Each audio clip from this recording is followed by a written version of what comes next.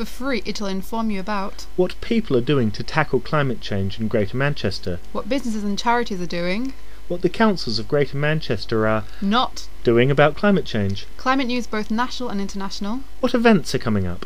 reviews of books, films, and music, It'll inspire you with examples of positive campaigns you can get involved in. interviews with doers and thinkers, It'll connect you via its. Calendar, employment page, and its carbon dating column. And if that's not enough and you need to be nudged and peer pressured, Well, all the cool people are doing it.